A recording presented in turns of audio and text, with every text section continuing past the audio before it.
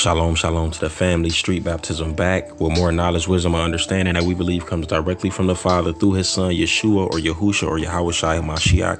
Whichever pronunciation somebody decides to use is all right according to the Word of God, as long as you call it on the name of the Creator or the name of the Father in in the reputation, calling on the Father in the name or in the reputation of His only begotten that's a fact. Praise God. Much love to the family trying to follow in the footsteps of the Messiah in truth and sincerity by way of humility. Street baptism back with some more Bible archaeology. Here we're looking at the Gallio inscription or the Delphi inscription as we get right into it.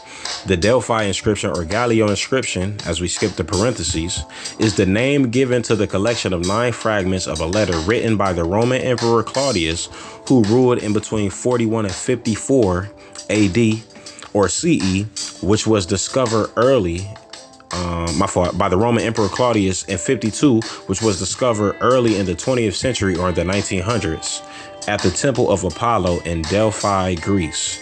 Mm-hmm. Here's this place, the temple, um, with with either six or seven pillars still standing. I can't remember, but I do see six right there. Here's a fragment. Praise the Father with a name at the Delphi Museum. Um, now let's look at the text. Here's the text. It says the reconstruction, reconstructed inscription begins thus. This is what's written in Greek on this inscription. Tiberius Claudius Caesar Augustus, or Kaiser Augustus Germanicus, invested with tri tri tribunician power for the 12th time, acclaimed em imperator for the 26th time, father of the fatherland for a long time, I have not only well disposed towards the city of my fault. I have not been only well disposed toward the city of Delphi, but also solicitous for its prosperity. Praise the Father. That's what he's saying here. It's beautiful that they was able to make this out. And I have always guarded the cult of the Pythian or Pythian Apollo, but now since it is said to be destitute of citizens, as L. Unius Gallio, my friend. So Gallio is mentioned by Claudius Caesar in this inscription. In these findings, my friend and proconsul recently reported to me and being desirous that Delphi should retain intact its former rank, I order you to invite well-born people also from other cities to Delphi as new inhabitants as they try to make this city prosperous. That's basically uh, one of the main points or the main point of this letter. Mm-hmm. It says the reference to Proconsul Gallio in the inscription provides an important marker for developing a chronology of the life of Apostle Paul by relating it to the trial of Paul in Achaia mentioned in Acts, my fault, in the Acts of the Apostles in Acts chapter 18 and verse 12 through verse 17. So this this Gallio is mentioned in Acts chapter 18. We about to read that real quick. Here's more Bible archaeology. Here's more proof. Praise the Father. We confirm our faith in many different ways. Um, what am I looking for? Acts 18.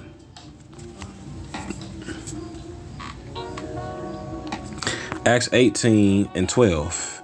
It says, And when Gallio was the deputy of Achaia, the Jews made insurrection with one accord against Paul and brought him to the judgment seat, saying, This fellow persuadeth men to worship God contrary to the law, not contrary to the law that's in the word or in the Bible, contrary to the law that they was adhering to at that time.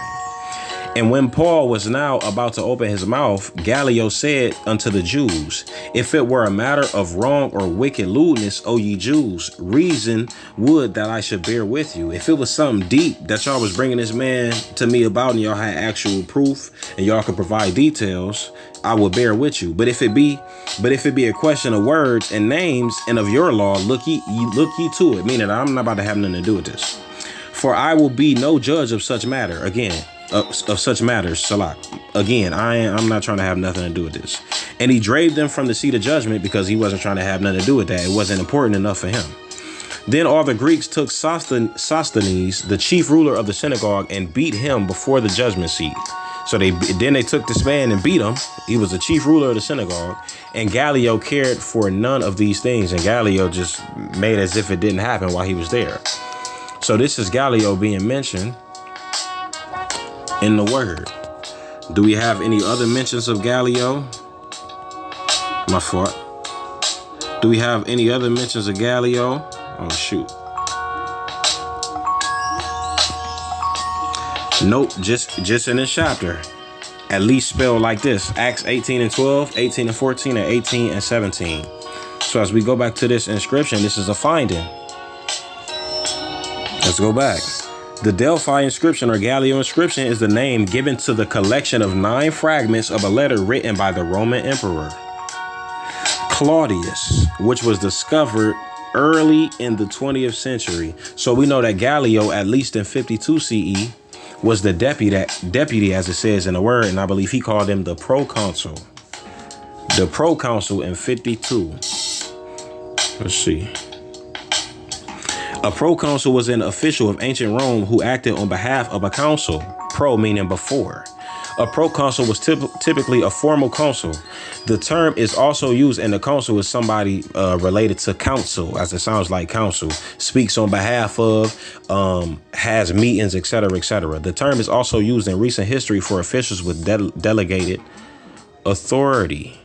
Mm -hmm. In the Roman Republic, and here's Scipio Africanus, one of Rome's greatest commanders, was a proconsul during the Second Punic War.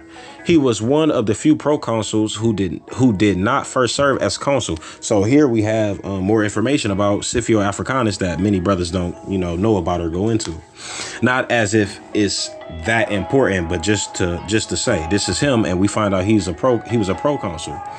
It says in the Roman Republic, military command or imperium could be exercised constitutionally only by a council. What? Oh, these three, my fault. These three things, military command or imperium, or these two things, my fault, could be exercised constitutionally according to their law only by a council. There were two councils at a time, each elected to a one-year term. So that helps to better date the chronology of what's happening specifically um, in the book, book of Acts 18 that we just read. If the proconsuls only served a one-year term, it says they cannot normally serve two terms in a row.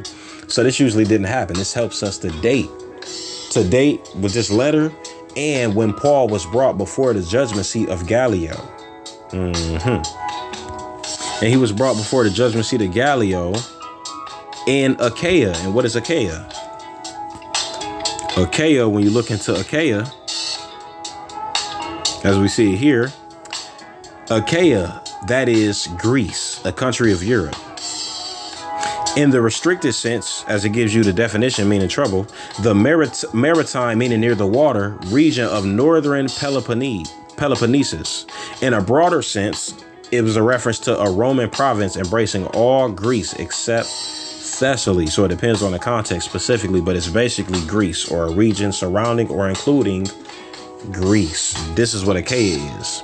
So we can date Paul being in Greece. Praise the Father by knowing um, information about proconsuls and how long they served. Mm-hmm. And looking at this letter. So with that being said, this is some more Bible archaeology. Praise the Father.